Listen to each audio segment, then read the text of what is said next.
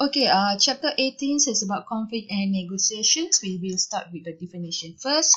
So, conflict is defined as a process that begins with one party, that's mean this party, uh, perceive that another party, this one has negatively affected or about to negatively affect something that the first party cares about. Maybe the first party cares about money, um, wealth, powers, belonging, women, and so on. If he thinks that the, the other party will negatively affect something that he desires or something that he cares about, then uh, conflict will exist or conflict exists. So if no one aware of the conflicts that's mean between these, uh, maybe uh, this person didn't aware that uh, that someone's uh, uh have has will has negatively uh, will negatively affected something that he desires or no one aware of the conflicts then uh, generally no conflict exists so also needed to begin conflict also needed to begins uh, like uh, with the oppositions that's mean incompatibility and interaction. So basically how conflict uh, arise is because of the two elements incompatibility uh, and interactions. So incompatibility maybe in terms of goals in terms of uh, interpretations of something that they desire or and so on. So basically what is meant here incompatibility or uh, oppositions or differences uh, between one party and uh, another parties and also in terms of interactions if they interact uh, one party first party interacts with the another parties uh, this interaction indicating the disagreements then conflict exists.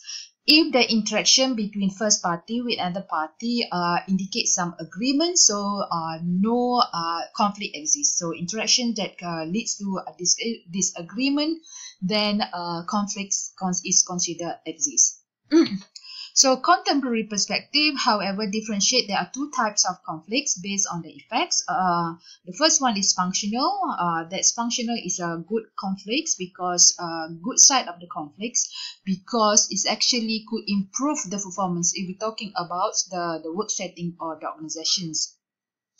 And another type is dysfunctional or something uh, conflicts that can uh, hinder group performance or can prevent group performance. Normally, uh, dysfunctional conflicts is considered destructive because it just um, give have uh, it just uh, contribute to the uh, negative uh, consequences or negative outcomes. So types of the conflicts, uh, researchers also uh, classified conflicts into three categories. Uh, task conflicts that uh, relate to the content and goals.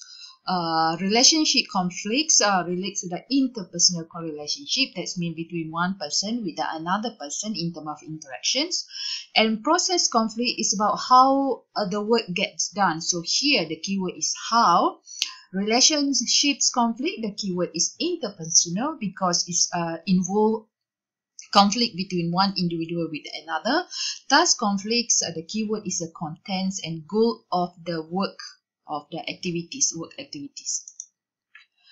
Uh, relationship conflicts is considered um, uh, it's always uh, dysfunctional. That means relationships are uh, is not really functional. Uh, of course, uh, relationship is very difficult because uh, it's involve human being uh, between one person with another, with uh, who has uh, feelings, who has um, attitudes, behavior, and so on.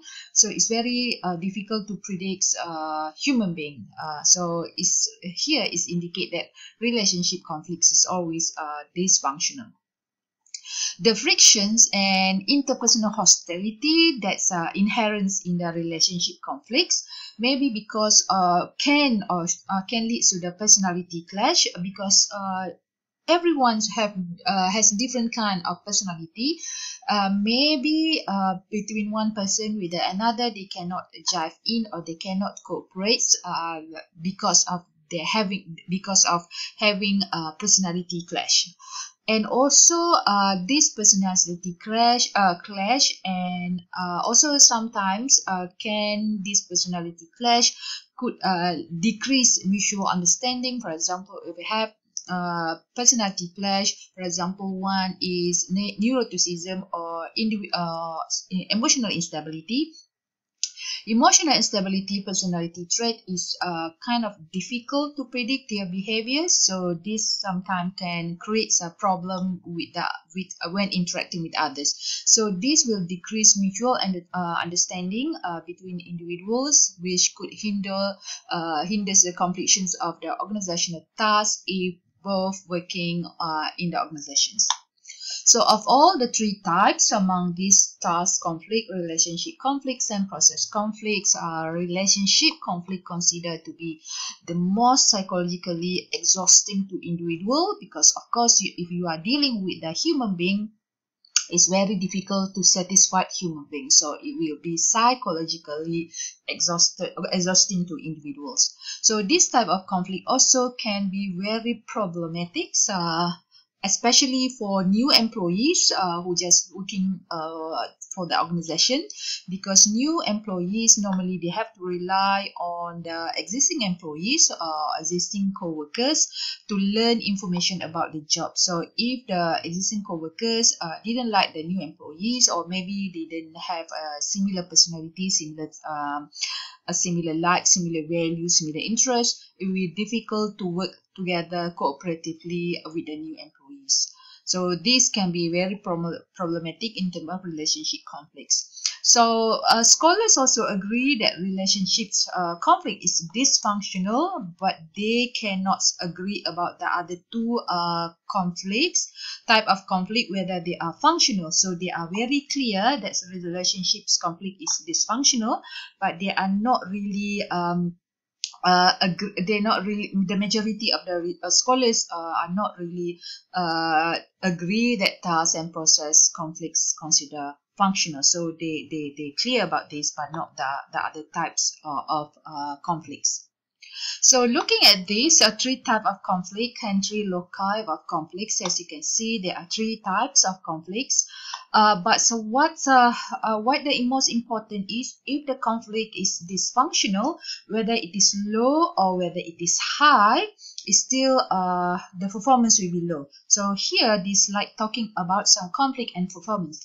So um, the existence of functional conflicts, whether it is high or it is it is low, functional conflict can uh, increase performance outcome, but uh, dysfunctional, whether it is low or none, or whether it is low or high, um, is always uh, in terms of performance is always relates to um, it's always negatively uh, affects uh, performance, uh, dysfunctional uh, type of conflicts. So loci of conflicts, uh, another way to understand conflicts is consider its locus or in other words where the conflicts occurs. So there are three type, uh, three basic types. Uh, first one is di dyadic conflicts. Uh, is a conflict between two between two people. Intra conflicts uh, occurs within a group of uh, or teams. An intergroup conflict is conflict between groups or teams. So basically, dyadic conflicts is between two persons or two people, between you and me, between he or she, or just involve two people.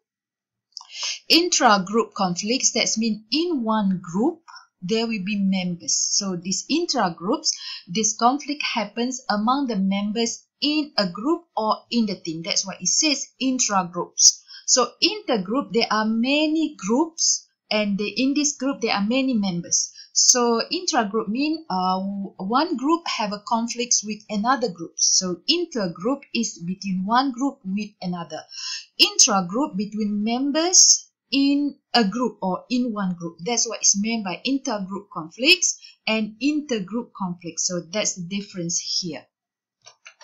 So literature on task, relationship and process consider that intra-group conflicts is considered uh, where, uh, consider the most important when it comes to the uh, conflicts intra-group and means members within the group.